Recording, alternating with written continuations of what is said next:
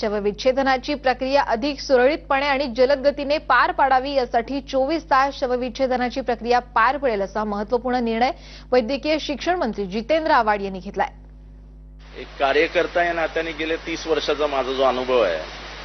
की एखादा ऍक्सिडेंट संध्याकाळी किंवा दुपारनंतर झाला आणि ती बॉडी पोस्टमॉर्टमला गेली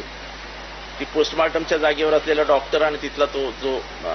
कर्मचारी असतो तो सांगतो की आता बॉडी मिळणार नाही उद्या सकाळी या. हा जो उद्या सकाळचा जो निर्णय असतो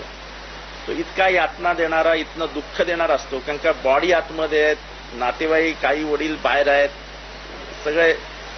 आणि ते जे काय बारा चौदा तास जातात त्याचं जे मेंटल प्रेशर कुटुंबावर येतं आणि ते जे काय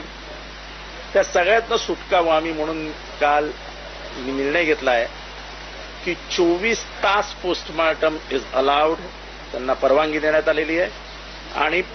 पोस्टमार्टमच्या इथे तुमचा पोलीस पंचनामा झाला की कुठलीही बॉडी दोन तासाच्या वरती थांबता कामा नाही असा निर्णय असे आदेश झालेले आहेत. आणि मला या गोष्टीचं समाधान आहे. महालक्ष्मी रेस्कोर्सचा वाद पुन्हा एकदा उफाळून येण्याची शक्यता आहे.